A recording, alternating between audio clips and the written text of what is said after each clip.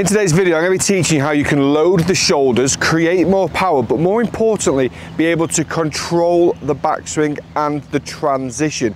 Probably the key, most important area in the golf swing is how you transition from the way the club goes up into the backswing to how it comes down into the downswing. The majority of golfers that I coach online really struggle with this area. A lot of players actually reach out to me and say, how do I improve my transition? Now, the important thing here is how do you get to the top? How do you, you can't improve a transition if the positioning at the top is not in a good place already. If I've got a student maybe in this position, the transition's almost irrelevant because you're in a poor position to start with. So that's just an example. So it's really important that we actually build the backswing correctly, get you into the right place so the transition will get better. So we're gonna be talking all about how to load the shoulders. Loading the shoulders means that we're able to get the club up into a really powerful position whereby really the only one, the only way down is to come down into a really perfect delivery position.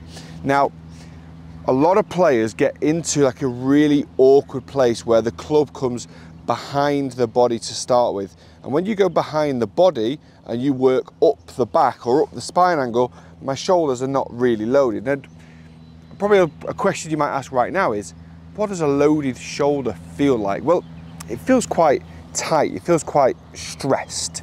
And I mean that in a really good way. It feels powerful. I think whenever you've got some sort of tension in your body, that's a powerful feeling to have, okay? So this drill is amazing, okay? What we're gonna do, for, so for right-handed golfers, you're gonna go left-handed, you're gonna go cack-handed here, left hand below right. So we're gonna get into the grip position. You can baseball it however you want to do it. Just try and make it feel like it's relatively comfortable. And we're gonna work this swing up to the top from here. Now, what you're gonna be able to notice is it's a lot harder to get the club on the inside. So this is actually a really good drill for your takeaway as well. But it's very difficult to get the club going on the inside because this right elbow is going to start pointing out and the wrist is going to bend in an awkward position and we end up here and let's be fair, that's going to feel automatically worse than ever. You're not going to then from here just lift the club up out there as well because again it feels it feels wrong, it feels strange with the way the hands start to hinge up and the arms get away from the body. So the reason why we do this cack-handed drill is because as we start to rotate away, the wrists automatically start to hinge the club. So once, once they do that, the golf club is now in a position from here where I can just load it up to the top of the backswing. When I have this loaded shoulder feeling, I can feel it in my lead shoulder and I can feel it in my trail shoulder. So I feel really loaded up the top of the backswing. I can, I can really feel it here.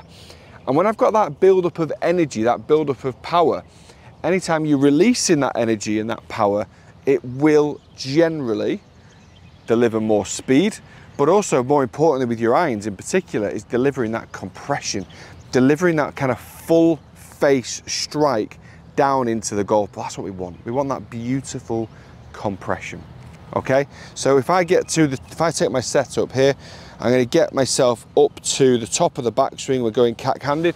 Now, the way I want to feel here, as I've already mentioned, I've got the feeling of my, my lead shoulder is loaded, but just down the trail arm, so just down the right arm, one of the, the bit of feedback I often give is trying to see that this right arm is almost vertical relative to the ground. So I don't want the elbow out, I don't want the elbow behind my body, I want the elbow in front of my rib cage and almost vertical.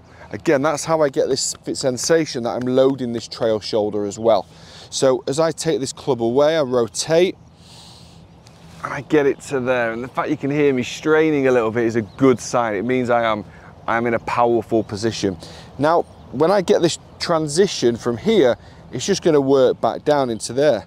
So we're gonna be able just to work the club back down and then the only way you're going to really strike a golf ball or have control of the golf shot, the direction, the strike, is if your delivery position is really, really good.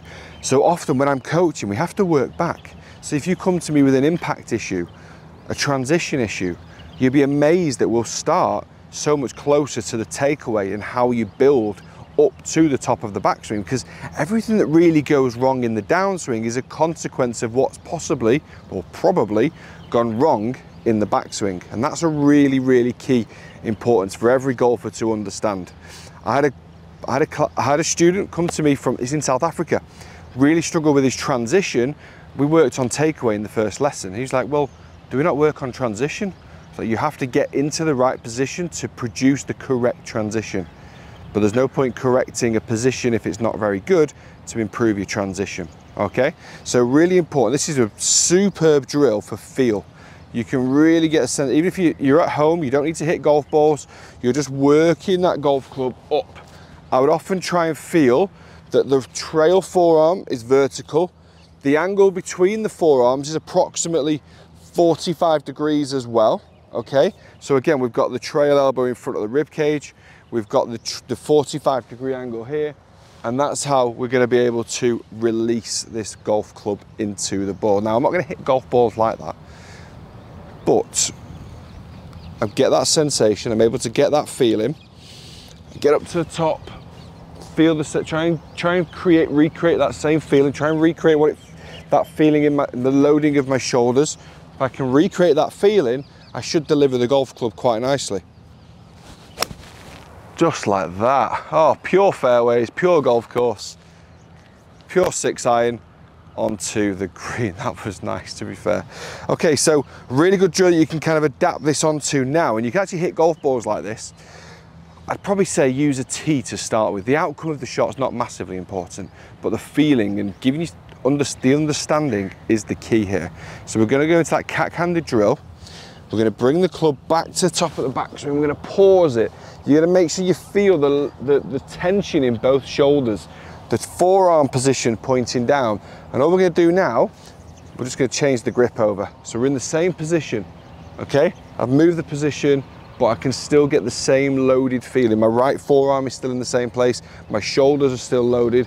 I could come down and just hit that ball away off a tee. And what that's helping you do is helping you, it's basically putting you into the position you need to be in, then get you back into your normal grip, and then just come down and tap it away. Literally tap it away. Because I know what everyone's like you get to the top and you must be thinking, I'm in a great position now, I'm gonna absolutely bomb this. No need, okay? What we're trying to do is get the understanding of what this feels like, transfer it into a normal grip, and then just tap it away. The more you can understand the feelings, the more repeatable it's going to be. The most thing about the most important thing about the golf swing is consistent. Everyone's got a different golf swing. No one has the same swing, but what we all need to do is have a consistent movement pattern to repeat it as often as possible. Right, one more, one more ripper for the video. Winds off the left, 10th hole here at the Earth course. They literally had, what day is it today? It's, it's Tuesday. Two days ago, Nicolai Højgaard won the DP World Tour Championship. Two days later, we're doing a golf tip on the 10th fairway. What a life. What a world to be in. Right, 10th hole, six iron into the green. It's all over the flag. Winds grabbed it a little bit though actually, so there was a slight lie. It's on the back right portion of the green, three putt territory, but hey, you know what? I loaded the shoulders, I worked the club down nicely, I compressed it, got a really, really nice centre strike. I am happy. Guys, thank you very much for watching. Hope you've enjoyed the video. If you have, hit the like, hit the subscribe. Loads more content to come from what used to be my home, but it's not anymore. Guys, thanks for watching. See you next time.